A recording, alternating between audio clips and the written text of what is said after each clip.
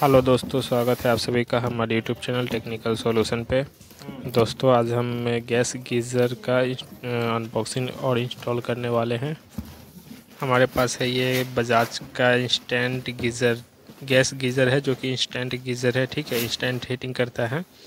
तो हम इसका अनबॉक्सिंग करते हैं और इसमें देखते हैं क्या क्या मिलता है।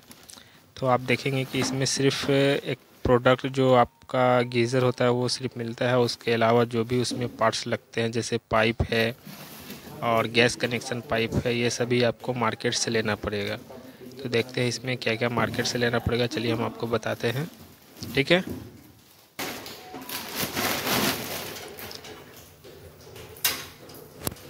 जैसा कि आप देख सकते हैं, ये सिर्फ़ आपका प्रोडक्ट जो है, वही इसमें आएगा। ठीक है? उसके साथ एक ये गैस एडेप्टर आएगा। ये हमारा वाटर इनलेट है और वाटर आउटलेट उसके बाद ये गैस इनलेट का है। तो ये गैस एडेप्टर साथ में सिर्फ़ एक मिलेगा, जो कि आपको गैस पाइप में फिट करके उसके बाद इसमें फिक्स करना है। बाकी बात जो आपका इनलेट वाटर पाइप है आउटलेट वाटर पाइप है, जो कि कनेक्शन पाइप होता है, वो आपको मार्केट से लेना पड़ेगा। और क्या क्या लेना पड़ेगा, चलिए हम आपको बताते हैं। सबसे पहले इस तरीके का पाइप लेना पड़ेगा, जो कि आपका गीजर से गैस सिलेंडर की दूरी जो भी होगी उसके अकॉर्डिंग आपको परचेज करना पड़ेगा। तो हमारा जो यहाँ पे गीजर और गैस सिलेंडर की जो दूरी थी वो पंद्रह फीट के आसपास थी। तो मैंने यहाँ पे चार मीटर पाइप लिया है मार्केट से, ठीक है? तो आप इस तरीके का पाइप ले सकते हैं। ये धागे वाले पाइप होता है।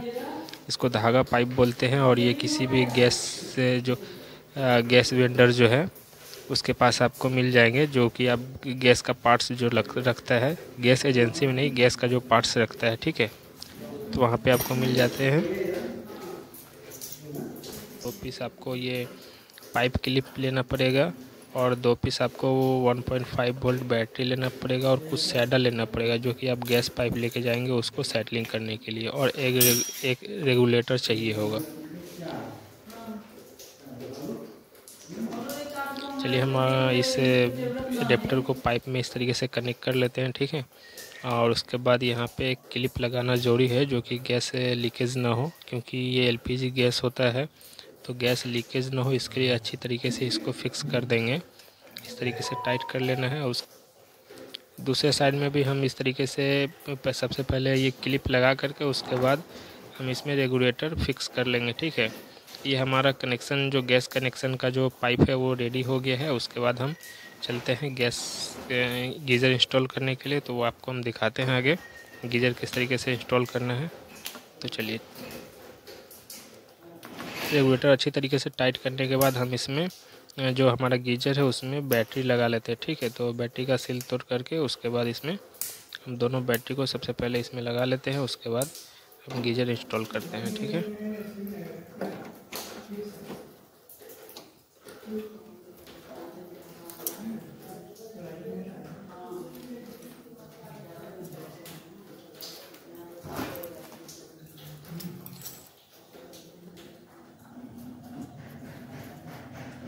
ये हमारा कुछ स्क्रू और फास्टनट था जो कि इसमें यूज़ होना है। तो यहाँ पे सबसे पहले इसमें इलेक्ट्रिक गीज़र लगा हुआ था जो कि हमने पहले निकाल दिया है, ठीक है? और इसका फास्टनट अभी भी लगा हुआ है। अगर फास्टनट निकालेंगे तो दीवार को तोड़ना पड़ेगा। तो उसके बीच में देखेंगे, एडजस्ट करके कि दोनों फास्टनट के बीच में गीज़र आ रहा है कि नहीं। तो यहाँ पे गीज़र हमारा दोनों फास्टनट के बीच में आ गया है। तो हम ऊपर सबसे पहले मार्किंग कर लेंगे जो कि ऊपर एक फास्टनट पे हैंग करना है, ठीक है? तो सबसे सेंटर ले लेते हैं क्योंकि वो हाइट पे है तो हम नीचा सेंटर ले करके और ऊपर का साइड का हाइट ले करके उसके बाद वहाँ पे एक फास्टनट मार लेते हैं। फास्टनट एक ठोक देते हैं, उसके बाद आगे बताते हैं।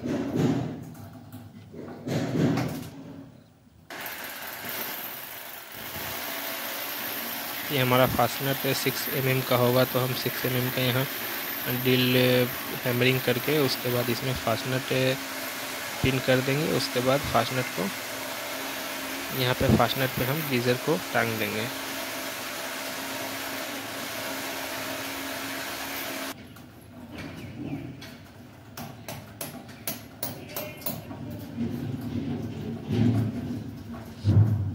जैसा कि आप देख सकते हैं, ये हमारा ऊपर में फास्टनट लग गया है। तो इसमें हम गीज़र को पहले टांग करके उसके बाद दो नीचा स्क्रू फिक्स करना है, ठीक है, जो कि ताकि ये गीज़र हिले ना। तो उसके लिए सबसे पहले हम ऊपर वाले जो फास्टनट है, उसमें हम गीज़र को फंसा देंगे। उसके बाद देखेंगे यहाँ पे दो स्क्रू का जो पॉइंट है, वो कहाँ पे आ रहा है, उसको दागी करके। ठीक है, उसके बाद वहाँ पे फिर ड्रिल करना होगा।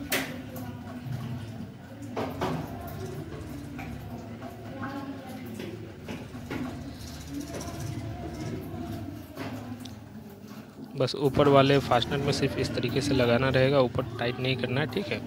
जो फास्टनेट है, उसको टाइट नहीं करना है। बस ये नीचा जो दो होल है, यहाँ पे हमको दो स्क्रू लगा देना है ताकि ये गीज़र ही लेना तो मैंने मार्किंग यहाँ पे कर लिया है, ठीक है? मार्किंग करने के बाद इसमें ड्रिल कर लेंगे और प्लास्टिक का जो गुल्ली आता है, इसको हम यहाँ पे लगा करके उसके बाद स्क्रू फिक्स कर देंगे।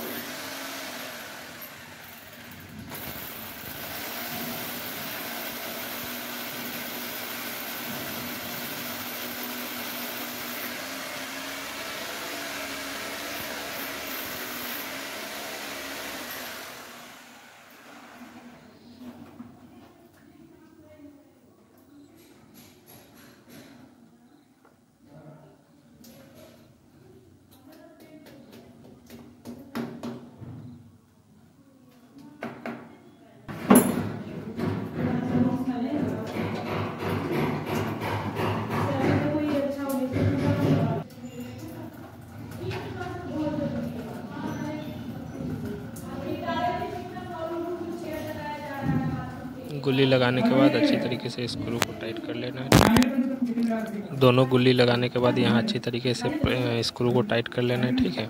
ताकि ये गीज़र हिले ना।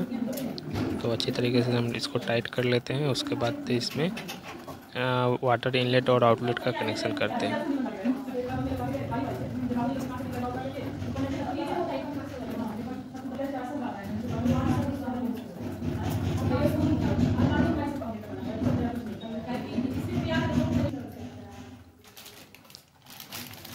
ये हमारा गैस का कनेक्शन का है और ये आउटलेट का है और ये इनलेट का है, ठीक है? वाटर इनलेट, आउटलेट का है। तो इसमें वाटर आउटलेट का जाएगा, इसमें वाटर इनलेट का जाएगा, ठीक है? तो यहाँ पे निपुल लगा हुआ है पाइप में तो हम पाइप का कनेक्शन इसमें करेंगे, ठीक है? पाइप का क्वालिटी क्वालिटी अच्छे वाला होना चाहिए। देखिए, यहाँ पे हमने पाइप का कनेक्शन कर लिया है, जो कि इनलेट वाला। इनलेट में चला गया है और आउटलेट का यहाँ पे ये इनलेट में चला गया है, ठीक है? ये आउटलेट का यहाँ पे चला जाएगा, जो कि हम थोड़ा सा पानी भरने के बाद इसमें, गैस में जो गीज़र में पानी हल्का भरने के बाद इसमें देखेंगे आउटलेट से आ गया है तो उसके बाद टाइट कर देंगे। तो इस तरीके से, अच्छी तरीके से टाइट कर लेना है, ताकि लीकेज ना रहे, ठीक है?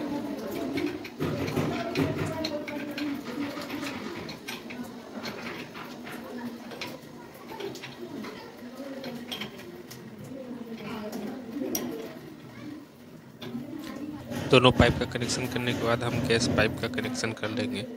तो सैडलिंग करने से पहले, सबसे पहले हम इस पाइप को कनेक्ट कर लेंगे और विदाउट टेफलॉन करेंगे, क्योंकि इसमें वाशर होता है रबर का। तो टेफलॉन लगाने की ज़रूरत नहीं है, ठीक है? तो इसको अच्छी तरीके से सिर्फ़ टाइट कर लेना है, ताकि लीकेज ना हो, ठीक है?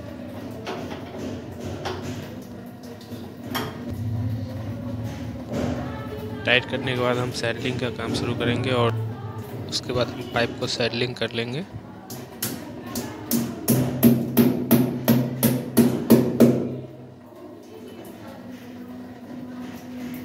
सैडलिंग करने के बाद हम आपको दिखाते हैं आगे।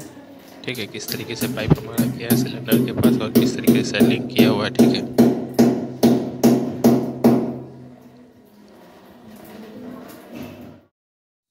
यहाँ से पाइप होते हुए बाहर के ये वेंटिलेटर से बाहर की तरफ़, डोर के बाहर की तरफ़ चला गया है, ठीक है, और वहाँ पे सिलेंडर रखा हुआ है, सिलेंडर में हमारा ये पाइप चला गया है, जो कि लगभग तेरह चौदह फीट के आसपास दूरी हो जाता है, ठीक है।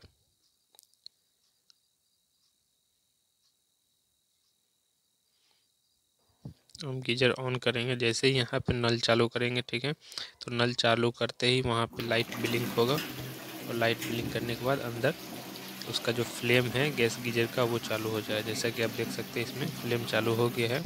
और इसकी खासियत यही है कि आपको जिस नल जिस तरीके से चालू करेंगे और दो तीन सेकेंडों में यहाँ पे खोलता हुआ पानी आना शुरू हो जाएगा। जैसे ही नल चालू करेंगे, यहाँ पे खोलता हुआ पानी आना शुरू हो जाएगा।